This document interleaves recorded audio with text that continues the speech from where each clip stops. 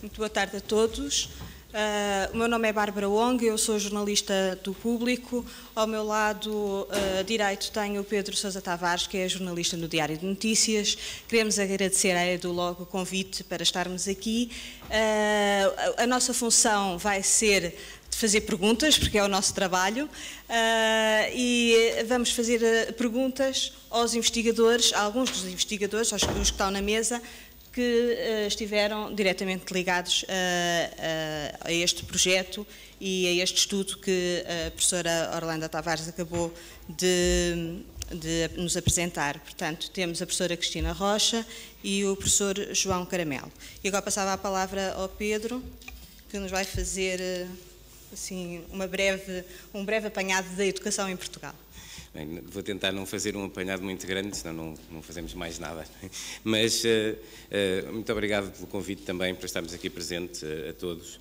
Um, eu, eu não, não, vou deixar de me fixar numa pequena frase de um vídeo que passou aqui no início, que tinha uma pergunta educação, que caminhos a percorrer. Acabámos de ouvir este estudo que, que fala de muitos desafios que nos são colocados, mas acho que devemos fazer esta reflexão sobre o caminho que percorremos e o caminho que percorremos é visível, sobretudo nos indicadores que mudam a curto prazo, digamos assim. Uh, esta semana, por exemplo, tivemos uma notícia interessante relativa ao, estudo PISA da OCDE. Eh, há que ter presente em que ponto é que estávamos quando, começou, quando Portugal começou a participar nos estudos PISA no ano 2000. E nos primeiros, nos primeiros resultados estávamos no fim de, da lista dos países da OCDE em quase todos os indicadores eh, de repente, 15 anos depois, estamos acima da média em todos os indicadores dentro dos países da OCDE. Eu acho que este é um dado que não pode deixar de ser eh, significativo. Não significa que tudo está bem, mas é um indicador, como é um indicador, por exemplo, a taxa de escolarização dos nossos uh, dos jovens. Quando pensamos que temos o triplo dos doutorados uh, a formarem-se anualmente do que tínhamos há uma década atrás ou há década e meia, tudo isto são indicadores de que há um processo de mudança. Portanto, de alguma forma, aquela pergunta que caminho a percorrer, de alguma forma há um caminho que está a ser percorrido. Uh, e esse caminho, obviamente, é um caminho que tem desafios pela frente e muitos deles são conjunturais e, é disso que nos fala também este estudo. Temos uma população ativa que é muito pouco formada e muito pouco qualificada. Isso reflete-se não só na percepção que essa população tem em relação à, à importância da educação, mas até na capacidade que tem de a retransmitir, de a transmitir, por exemplo, de, pai, de pais para filhos, não só a capacidade técnica de ensinar, como a capacidade até de ter a, eh, eh, percepção dessa importância. Mas eh, eu acho que em relação a estes dados do, de contexto e também a, da forma como eles se relacionam com, a, com, com o que aqui ouvimos, vou passar a palavra à Bárbara. Estava à espera de falar já. Uh, queria só dizer-vos que vos foi entregue à, à, à entrada uh, uma pergunta que tem também, com certeza, a ver com, com a percepção que nós temos da, da importância da, da, da, educação e que eu penso que vai ser curioso depois, no, no final, percebermos as respostas que damos dentro desta sala e as respostas que foram dadas no, uh, no estudo. Foi também entregue uma folhinha onde podem colocar questões à mesa e que depois será recolhida para, para, precisamente para isso. Ora bem, eu ia fazer só um, um, breve comentário a este estudo que procura responder à pergunta sobre que percepções é que os portugueses têm sobre o valor da educação. Este estudo mostra-nos que os portugueses não, não estão satisfeitos com o seu grau de escolaridade. Uh, temos 62% dos inquiridos a declarar que gostariam de estudar mais, contudo, não o fazem. Só 28% têm esta intenção. E são os que têm mais estudos os que pretendem uh, persegui-los.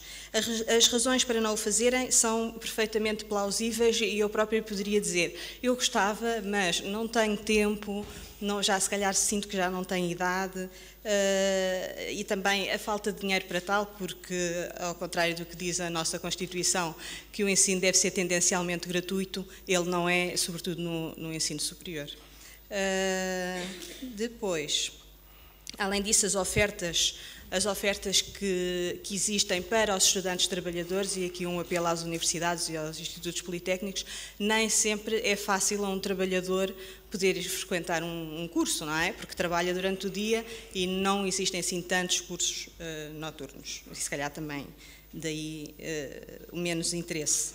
São os inquiridos com o ensino superior que revelam insatisfação quanto às suas qualificações e os cargos que exercem. Consideram que têm qualificações a mais, como já referiu a professora Orlando Tavares.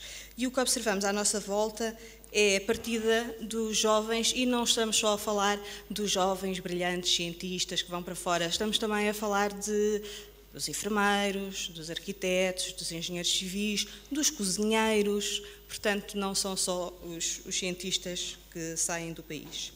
E podemos também refletir sobre nós estamos a contribuir para a formação de todas estas pessoas e quem vai e quem vai lucrar, se assim quisermos dizer, com a formação destas pessoas não é o nosso país.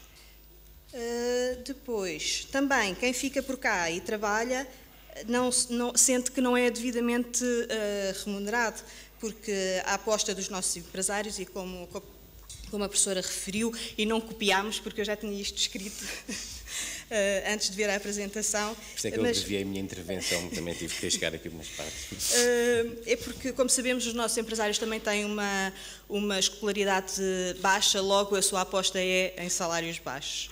Uh, os portugueses valorizam a educação, sobretudo os que têm graus académicos uh, mais elevados, e isso é preocupante, e como a, como a professora fazia referência, quando, quando queremos falar da mobilidade social, é muito, é muito fácil dizer da boca para fora, mas depois é mais complicado, e estes estudos mostram-nos isso mesmo, que uh, a escola contribui para essa mobilidade, mas falta fazer mais.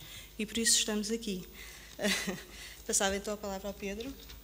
Muito bem. Uh, começava pela doutora Orlando Tavares, que nos apresentou este estudo. De alguma forma, fez-nos este diagnóstico e eu vou-lhe pedir que, usando o léxico médico, já que comecei por diagnóstico, vista a bata branca e nos diga qual é, esta questão da reprodução social e da percepção que as famílias têm é, é talvez o principal sintoma na doença, ainda em termos de educação e que terapias é que aconselharia? Ou seja, já nos deu alguns exemplos eh, na sua intervenção final, ou seja, que rumos se podem dar para inverter uh, esta reprodução, ou seja, para que ela não seja uma fatalidade? Pois então, antes de mais, pegando na sua metáfora, eu sou mais médica de diagnóstico e não tanto da terapia. De qualquer modo, um, eh, o que se verifica é eu creio que, na verdade, há ainda reprodução social, mas uh, também existem já alguns sinais, alguns sinais positivos e os efeitos de, de várias políticas que têm sido uh, implementadas ao longo dos anos começam a dar alguns, alguns frutos. A verdade é que o sistema, o sistema político, o sistema económico em Portugal também está organizado de um modo que acaba por fazer com que, apesar de os portugueses, sobretudo os mais jovens, hoje terem mais qualificações, o valor dos postos de trabalho a que dão acesso continuam a, a reproduzir também essa desigualdade de partida. E até podemos pensar só em termos de, de ensino superior. Hoje em dia há muito mais uh, estudantes a aceder ao ensino superior. Mas agora a seletividade acontece dentro do ensino superior, porque há cursos que dão acesso a postos de trabalho com prestígio social elevado, com remunerações elevadas, e há outros cursos que não. E também há uma representatividade em termos de habilitações dos pais e dos cursos a que os filhos chegam. É? Que Exatamente. É Nós temos um estudo uh, em que verificamos que cerca de 70% dos estudantes que entram nos cursos de medicina em Portugal são filhos de licenciados.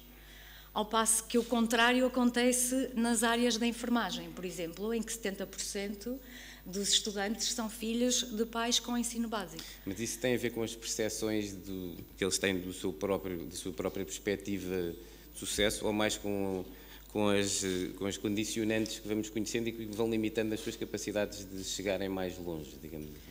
Não, há, há efetivamente. Nós temos um sistema, um sistema de, de acesso ao ensino superior que é seletivo e, portanto, baseia-se nas, nas, nas classificações que os estudantes obtêm. E, apesar de poder entrar no ensino superior pessoas que têm médias de 9,5, a verdade é que com 9,5 nunca vai entrar num curso de medicina. Portanto, uh, efetivamente até podem ter sucesso, terminar o 12 ano, entrar no ensino superior, mas isso não lhes garante entrar no curso que efetivamente querem, por exemplo, uh, e ter a profissão que efetivamente gostariam de ter. Porque nós não temos o ensino superior com as portas completamente abertas para todos. Aliás, elas aparentemente estão abertas, porque qualquer pessoa pode concorrer, mas as pessoas depois são selecionadas. E nós sabemos que o desempenho escolar é tanto melhor quanto mais uh, as suas famílias são escolarizadas. Porque, na verdade, as famílias mais escolarizadas acabam de falar a mesma língua que as pessoas na escola. Exato. E, portanto, o sucesso é muito mais garantido.